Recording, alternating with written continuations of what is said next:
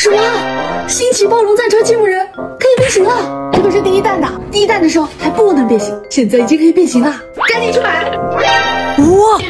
说超超，超超就到啊！小六子太强了！新奇暴龙战车积木人星光版就是这个，可以变形啊！快看，赤焰霸王龙、金刚甲龙，还有狂暴剑士虎，可以可以，都是最新一季里面的角色啊！啥都别说了，给小六子点个六六六吧！走，盒子变大了，打开！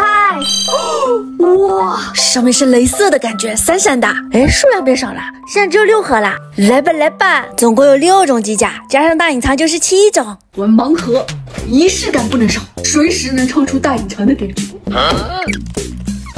二代、三代，哎，哦，第四季的新机甲闪光双棘龙。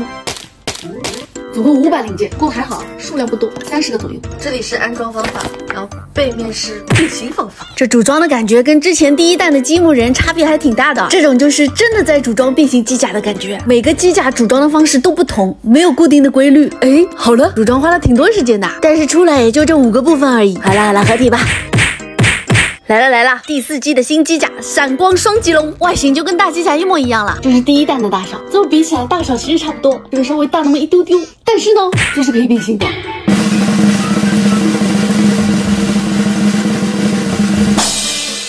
双棘龙变形完成，吧，还挺凶啊，和我手掌一样大，重点是可以变形，好玩啊！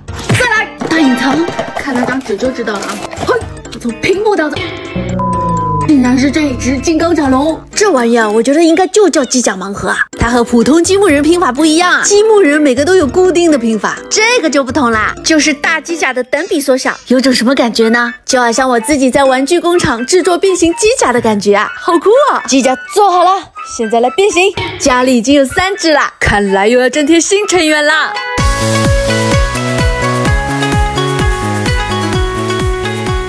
连变形方法也是跟大机甲一模一样。好啦好啦，金刚甲龙第四只啦，哆瑞咪发就要组成甲龙军团啦。还有四盒，今天头上没刻字吧？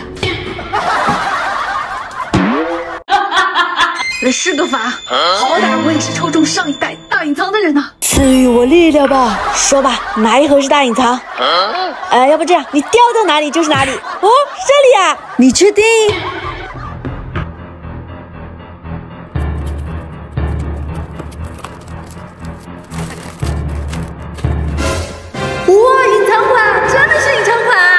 还挺好用啊！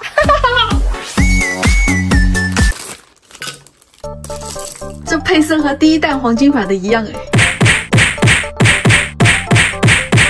黄金版赤焰霸王龙，小伙伴们点赞了没啊？所以呢，两个大隐藏就是长这样的。第二弹的明显大了一些啊，毕竟人家要变形的嘛。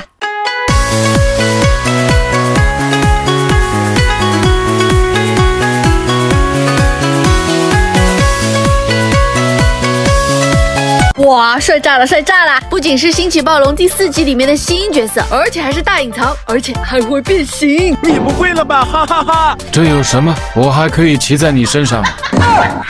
是谁了？最后三盒，来，换幻影翼龙，哈！普通款的赤焰霸王龙，哈！